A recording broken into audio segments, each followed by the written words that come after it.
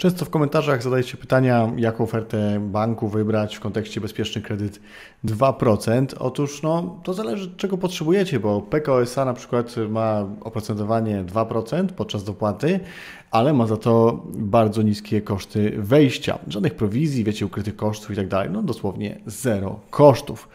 Natomiast Alior Bank z kolei ma wysokie koszty wejścia, ale za to ekstremalnie niskie oprocentowanie, w zasadzie absurdalnie niskie, mowa o 1,52%.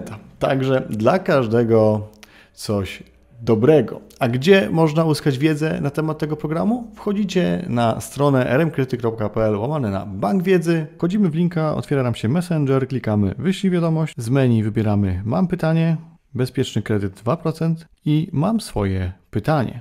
Zadajmy jakieś konkretne, na przykład czy w programie wymagany jest wkład własny? I mamy odpowiedź. Także zachęcam do skorzystania z tego narzędzia i tak oczywiście pomagamy w uzyskaniu tego typu finansowania.